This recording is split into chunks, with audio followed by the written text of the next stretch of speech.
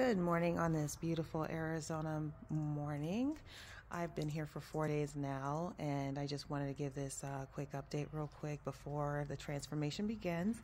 What I've been doing since I got here every single day is I have been quickly focusing on the sun patterns of my backyard. So I realized that my backyard actually faces southeast, and that's actually really beautiful for a couple reasons.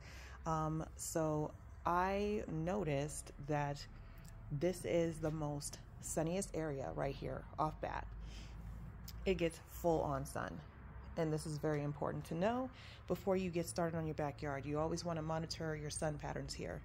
This is like 50 50 for now, and this is completely shaded. This is as much sun as it's going to get right here. So I can plant like my cool weather crops or something like that over here, and then some of my sunniest you know, the ones that require full sun over here.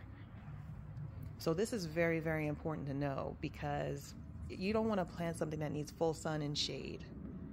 And then something that requires a little bit more shade, especially in hot climates like this, in the sun. So that's what I've been monitoring and I will continue to monitor, monitor sorry, um, as time goes. That is your growing tip of the day.